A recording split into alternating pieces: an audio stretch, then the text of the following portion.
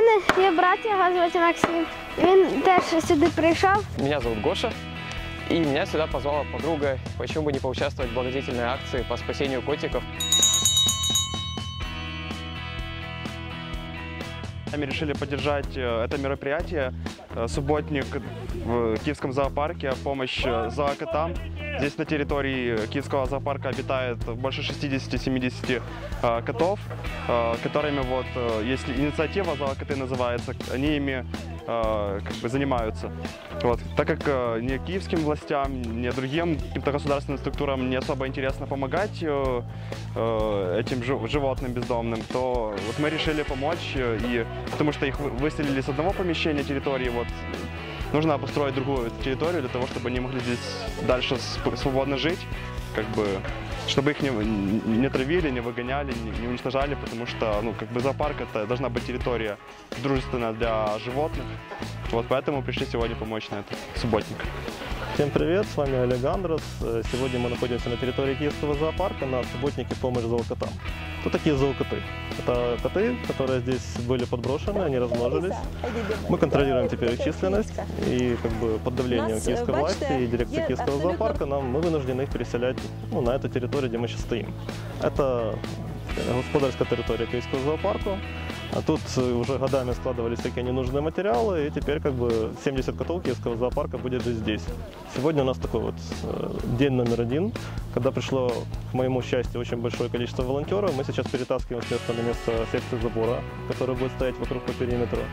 Мы сейчас очищаем территорию от всяких бурянов, сорняков, и таким образом для котов будет подготовлено место, чтобы они жили. Коты будут жить внутри периметра, тут будет примерно 2-3-метровый забор, который они не смогут перелезть, потому что он частично будет из профнастила. Ну и потом будет строиться котячий городок э, моей мечты. И Сейчас пару слов об этом. Как бы, если получится найти меценатов, если получится задействовать краудфандинг, то здесь будет не просто очередное унылое убежище для котов. Здесь будут и экотехнологии, и солнечные коллекторы, и солнечные батареи. Все, что только можно себе представить, считая труды товарища Илона Маска и подобных людей. Так что мы немножко мыслим наперед. Если все получится, то здесь будет самый прогрессивный, пожалуй, не будем говорить слово приют, убежище для котов на территории Киева и Украины. Но сегодня у нас лишь первый день. Сегодня мы настоим на такой территории, которая полностью не готова, и мы делаем из нее готовую. Значить, зверніть увагу, що е, на цей плакат тут е, заданий просто напрям е, нашої роботи. Е, все це приміщення е, створене руками волонтерів. Е, Все це зроблено з якихось е, матеріалів, там, які нікому вже не потрібні, зібрані на території або зоопарка, десь там на смітниках і все таке. Е, Це можливо комусь видасться смішним чи якимось жалюгідним, але ми створюємо це також в екологічних, як би мовити, ну, напрям екологічних, що не може бути матеріал просто викинути на свалку. Його можна використати ще раз з з ну, з користю для якоїсь живої істоти.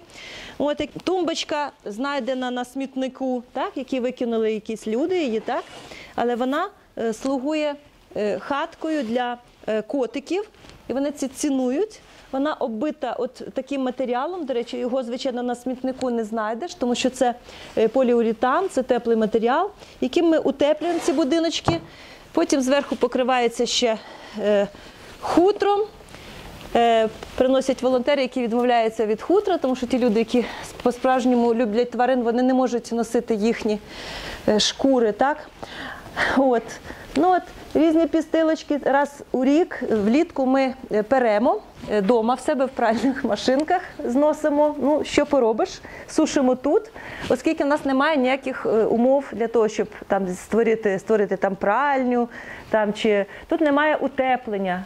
Я ще раз от е, акцентую на цьому увагу, що тут немає утеплення і досить важко е, вижити. Ну знову таки на плакат я почала і збилася трошки, що в нас звичайно е, стерилізація проводиться, лікування котів проводиться і пошук у добрі руки.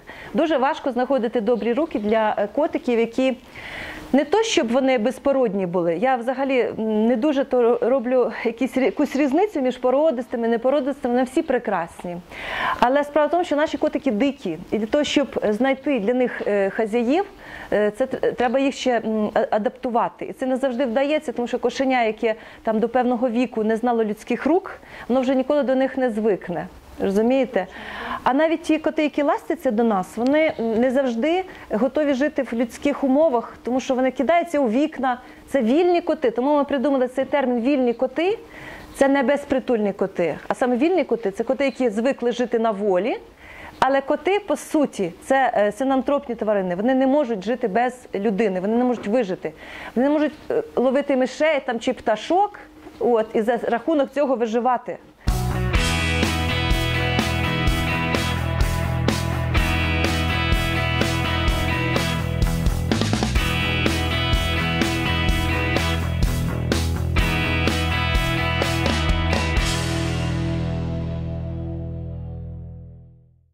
А это, знаете, та клетка, в которой слон приехал, слоненок.